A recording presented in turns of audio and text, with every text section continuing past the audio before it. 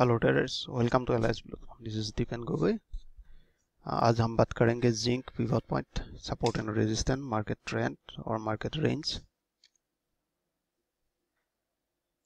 तो आप देख सकते हैं ये जिंक डेली चार्ट और इसमें आज pivot point 187.20 and the first support 198.55 and the second support 193.20 and the sorry, resistance, and the third resistance 195.55 and the first uh, support 183.55 second support 181.20 and the third 177.55 तो आप देख सकते हैं ये daily में अगर मैंने जिंक चार्ट को डेली चार्ट में लिया तो यहाँ पे आप देख सकते हैं after breakout this neck line आप देख सकते हैं ये नेक लाइन ब्रेकआउट करने के बाद ये मार्केट ऊपर चला गया राइट तो यहाँ पे क्या हुआ? 200 मूविंग एवरेज से एक सपोर्टिंग रेंज बना के ये क्या किया? उसको ब्रेकआउट कर दिया राइट इसको ब्रेकआउट करके इसको पुल अप किया।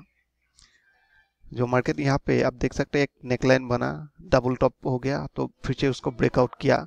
तो ब्रेकआउट करके वो मार्केट कहाँ तक आ गया? वो पहले जो हमें सपोर्ट और रेजिस्टेंस था, यहाँ पे एक रेजिस्टेंस था और बाद में एक सपोर्ट बन के ऊपर चला गया। तो कहाँ तक चला गया? जो नेकलाइन था। आप देख सकते हैं ये नेक नेक लाइन चला गया। तो नेकलाइन से मुझे लगता है ये लोअर लो बनाया ये लोअर लो था। आ, उसके बाद ये लोअर लो बनाया। तो आप देख सकते हैं ये हायर हाई को ब्रेकआउट नहीं कर पाया। तो मार्केट और फिर से नीचे आने का चांसेस है मुझे लगता है ये market around long time frame में आप देख सकते हैं 190 170 तक आने का चांसेस है ये लॉन्ग पोजीशन में। तो अगर आप फोर आवर में देख सकते हैं। फोर आवर में मैंने इसको आ,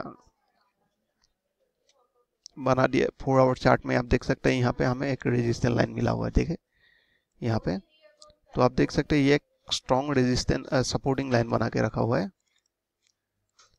यहाँ पे एक स्ट्रॉन्ग सपोर्टिंग रेंज बना है। मुझे लगता है मार्केट अराउंड 182 तक आने का चांसेस है फोर आवर में। तो अगर 30 मिनट में आप देख सकते हैं 30 मिनट में यहाँ पे आप लोअर लो बना रहा है। थोड़ा करेक्शन देखे फिर से मार्केट नीचे आने का चांसेस है राइट तो अगर 5 मिनट में देखे तो 5 मिनट में डाउन टेन है। तो यहाँ पे प्राइस अभी कंसोलिडेशन में चल रहा है तो एक प्राइस एक रेंज में चल रहा है। तो मुझे लगता है इसको ब्रेकआउट करने का बाद जब मार्केट अराउंड आप देख सकते हैं अराउंड लोअर पॉइंट है 184 तो यहाँ से आप, मुझे लगता है ये 50 मूविंग एवरेज नहीं तो 188 तो ये वन